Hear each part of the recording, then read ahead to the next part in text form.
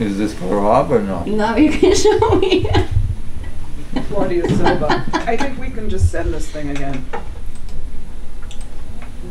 Chris, Chris, you look amazing today. I look amazing every day I know, and here too. But today especially. I don't look half as good as because I'm eating cake. Dzień dobry, dzień dobry, witam Was w dzisiejszym vlogu. Przy 57 chciałam Wam pokazać, gdzie pracuję. Zabieram Was teraz na kawę i przy okazji opowiem Wam w dzisiejszym vlogu, co zrobić. Trochę głośno jest, jak to na Manhattanie.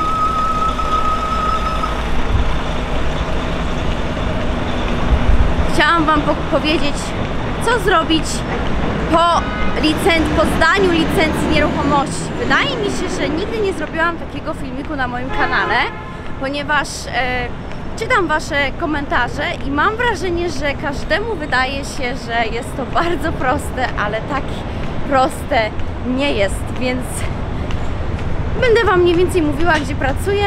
Teraz e, chciałam Wam pokazać trochę e, zamiast siebie to e, moją dzielnię.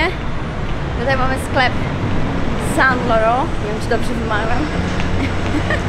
Chyba dobrze. Wiecie, nie kupowałam w takich sklepach ciuchów, więc nie znam się na takich markach.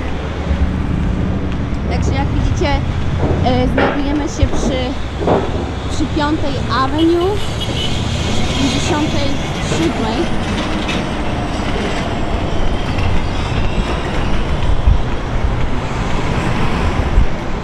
To jest e, chyba będzie. Ja kojarzę Louis Vuitton. Teraz Louis Vuitton ma kolekcję e, bardzo słynnej artystki. E, pod, podlinkuję Wam nazwę tej artystki. Ja zawsze zapominam, jak ona się nazywa, ale e, charakterystyczne są.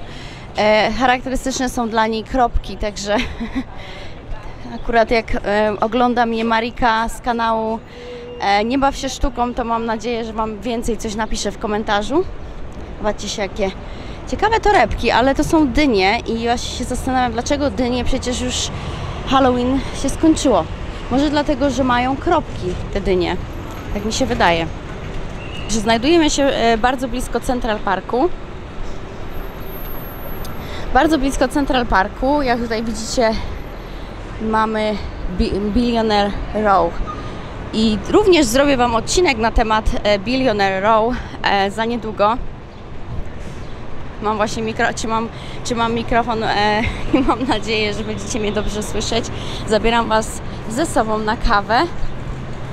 Może nie do Central Parku, ale dzisiaj mamy 28 stopni. Powiem Wam, że jest strasznie gorąco i taka pogoda, taka temperatura mi do, dokładnie odpowiada. I tutaj bardzo słynny Apple Store. Bardzo fajny Apple Store. Kiedyś właśnie zamknęli, a tutaj mamy Plaza Hotel i tam mamy budynki Billionaires Row, ale o tym Wam opowiem w innym odcinku. Pokażę Wam te budynki, inaczej nie będziemy wchodzić do środka, ale na pewno Wam coś więcej opowiem na temat tej dzielnicy, e, przy której pracuję.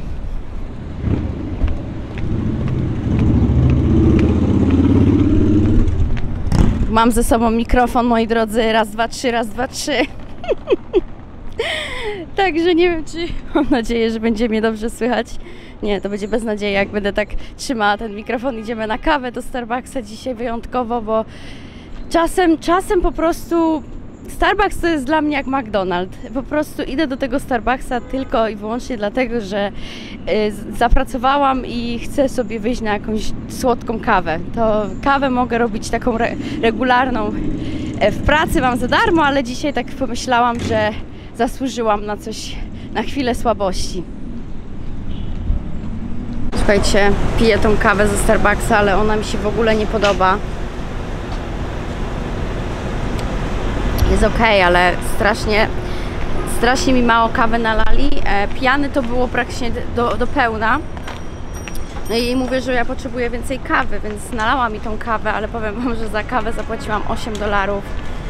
I wypomnijcie mi to w komentarzach, żeby nie chodzić do Starbucksa, bo to jest po prostu tragedia, nie? Tyle kasy za kawę. które jest totalnie beznadziejne. Nawet to nie smakuje jakoś specjalnie dobrze. Myślałam, że sobie dzisiaj pozwolę na jakąś słodką kawę, że coś takiego dla siebie.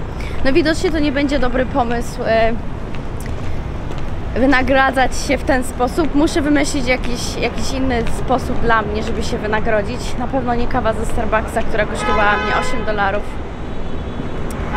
I ten teraz taki gorzki smak w ustach. No ale nic, wracamy do dzisiejszego vloga. W dzisiejszym vlogu chciałam Wam opowiedzieć, e, jeśli się przyjdziemy tutaj trochę koło Central Parku, powinna powiedzieć Central Park. Wybaczcie, wybaczcie moją wymowę. Piękna pogoda dzisiaj. Trzeba się przyjść na spacer. Nie, kawa jest ok, ale no, nie będę już zawracać Wam głowy moją kawą. Wracamy do naszej licencji i wracamy do licencji nieruchomości, bo to jest dzisiejszy temat mojego odcinka. Więc jak już zdacie licencję nieruchomości, co dalej? Jest parę opcji na to, żeby pracować w nieruchomościach. E, Są to opcje, które są e, bardzo realne, ale niestety e, do dojścia do takiego dużego, że naprawdę ma się listingi, dużo klientów, wszystkiego, do tego potrzeba niestety lat. I chyba e, w 2021 roku, jak zdawałam licencję nieruchomości, kompletnie sobie z tego nie zdawałam sprawy. Dopiero tak naprawdę e, to mnie uderzyło, jak zaczęłam pracować w nieruchomościach w New Jersey i w Nowym Jorku oczywiście, bo zrobiłam dwie licencje, zrobiłam licencję w New Jersey, zrobiłam licencję e, w Nowym Jorku, ale o tym Wam też opowiem w innym odcinku. I potem zrobiłam sobie przerwę rok i uważam, że to była bardzo dobry, bardzo dobry pomysł. E, I zrobiłam sobie tą przerwę rok i po roku znowu wróciłam do e, nieruchomości. Tutaj pan bardzo chce być e, nagrany, śpiewa.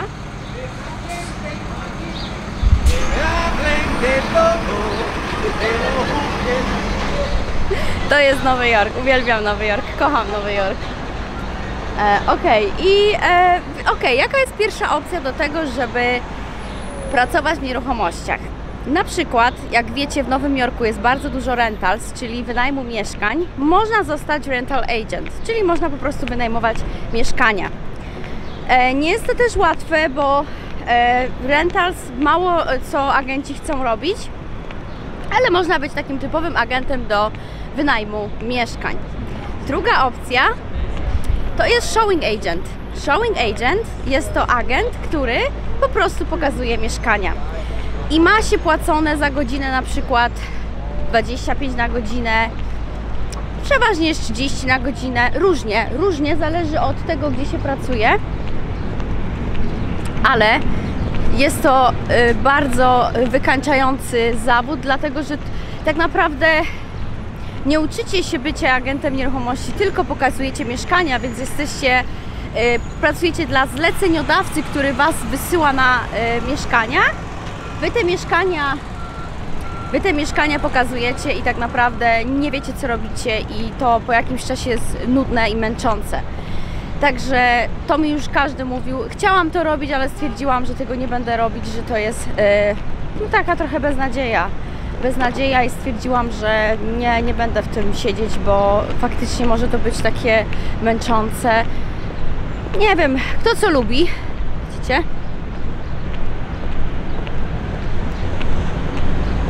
Tam jest to, tutaj ten czarny klocek, Trump Tower.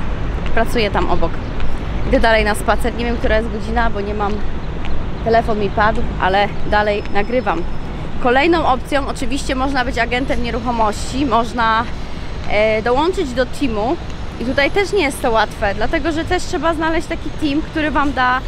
Pieniądze Wam nie da, bo to Wy musicie przynieść biznes, ale da Wam leads, tak zwany leads, czyli e, jakieś mieszkania, które możecie e, na przykład robić open house'y i też można dzięki temu zdobywać klientów i nie tylko, ale daje jakieś możliwości. Są teamy, które dużo obiecują, nic nie dają, kompletnie nic. Są teamy, które dają bardzo dobry trening. to się też rzadko zdarza, dlatego że rzadko się zdarza, żeby broker, który, dla którego pracujecie, chciałby Wam dać taki stuprocentowy trening, bo potem możecie sobie odejść do powiedzmy innej agencji i to jest niestety takie prawdziwe.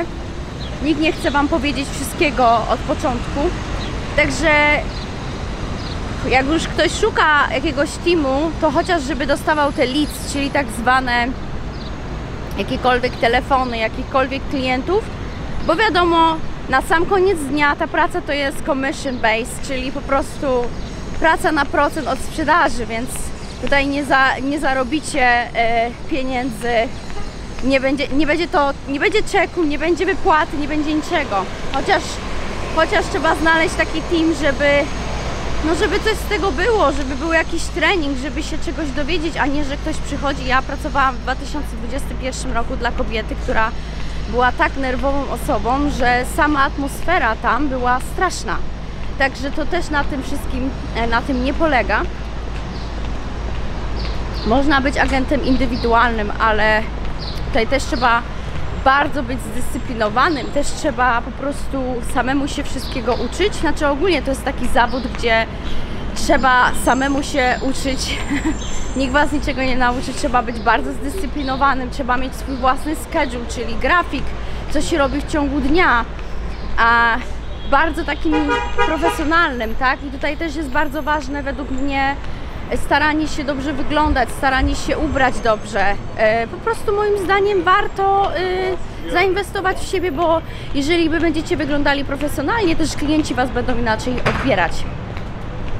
Czyli mamy showing agent, mamy agent, mamy agent, który jest indywidualny, mamy agent, który pracuje dla teamu, mamy również e, e, rental agent, no to już Wam wytłumaczyłam i ostatnią opcją, którą ja robię, to jest, hmm, nie, jeszcze są w zasadzie dwie opcje. Jeszcze jest asystent brokera.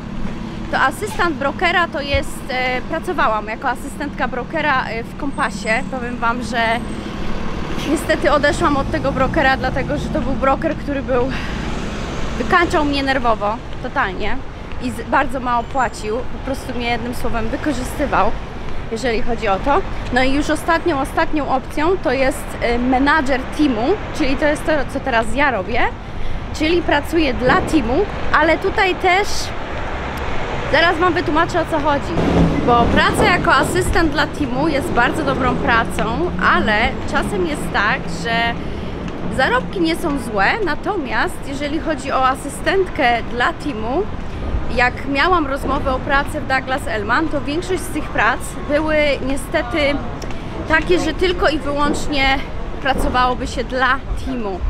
Więc koniec końców nie generowałoby się swojego własnego biznesu, nie miałoby się czasu dla, dla swoich klientów. Tutaj mam trochę inną sytuację, dlatego że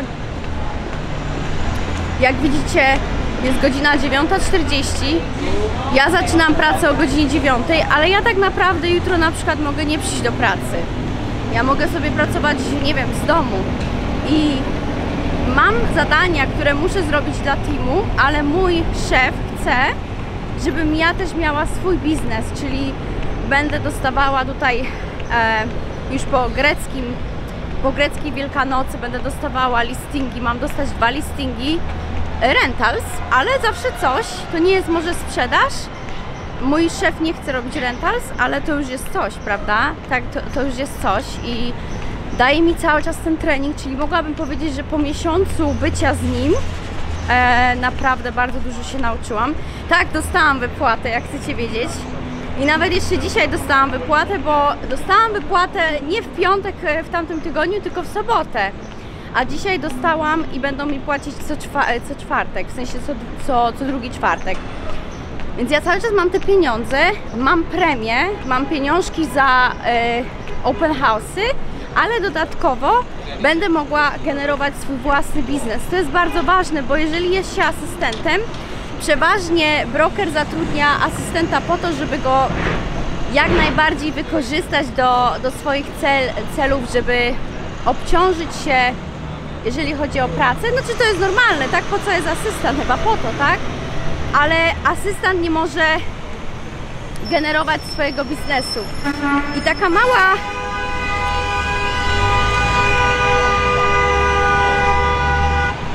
Taka mała ciekawostka to jest to, że właśnie e, kolega, który mnie szkolił, który mnie szkolił dosyć długo, bo prawie miesiąc, e, powiedział mi, on, on jest osobą, którą szkoli nowych agentów, asystentów dla wszystkich brokerów. I powiem Wam, że on powiedział mi tak na marginesie, że ja poznałem bardzo dużo agentów, którzy zaczęli biznes nieruchomości, nie dali rady po paru miesiącach, no bo przecież nie zarabiali, a większość asystentów, którzy zaczęli jako asystenci, dzisiaj są naprawdę bardzo potężnymi agentami. Bo jesteś cały czas w biznesie, jesteś cały czas w grze, zarabiasz pieniądze, masz, tą, masz to bezpieczeństwo, jesteś asystentem, również uczysz się, jak wygląda wszystko od środka, bo agenci się tego nie uczą, jak wygląda system, jak, jak to powinno być zarządzane. No i właśnie to jest ten plus bycia asystentem. Także to by było na dzisiaj na tyle. Dokończam moją kawę ze Starbucksa i trochę mały tour dla Was zrobiłam. O, tutaj też można wejść do budynku, tutaj też można e, do środka wejść. To jest dla otwarte e, do, dla ludzi. Tutaj mamy policję, dużo agentów. Odkąd e, Trump przyjechał do Nowego Jorku, jest bardzo dużo policji, bardzo dużo agentów. Secret Service pewnie. Także koło Trump Building, koło Trump, budynku Trumpa jest bardzo, bardzo dużo takich ludzi tego typu. Jest bezpiecznie, jest bardzo bezpiecznie.